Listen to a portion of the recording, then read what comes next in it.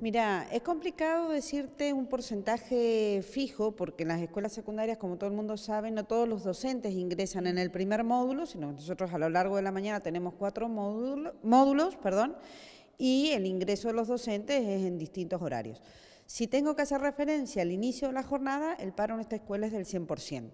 No sé si se va a mantener a lo largo de toda la jornada, pero sí preveo que el índice de acatamiento va a ser altísimo. ¿Es una escuela que tiene turno mañana y turno tarde? No, solo turno mañana. Bien. ¿Con cuántos alumnos concurriendo al establecimiento? Y alrededor de 300. Eh, a partir de esta situación y sobre todo teniendo en cuenta que la definición por parte de ACMER eh, se produjo ya hacia horas de la tarde, ¿cómo se informa a los alumnos?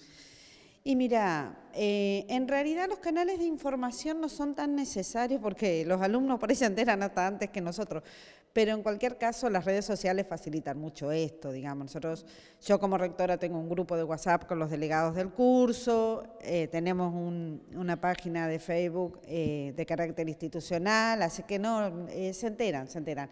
De hecho, los únicos alumnos que han venido han sido cinco o seis de primero que todavía están aprendiendo cómo son los manejos de comunicación institucional. Y en cuanto a los docentes por allí, ¿ya sabe el alumno qué docente se adhiera a la medida de fuerza? ¿Esto también se charla eh, tal vez en los primeros días de clases?